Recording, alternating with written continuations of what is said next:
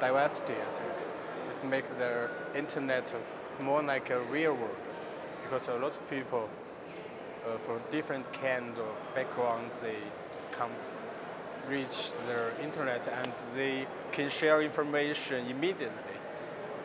I think that uh, that how to say that bring a very very uh, fantastic fantastic result.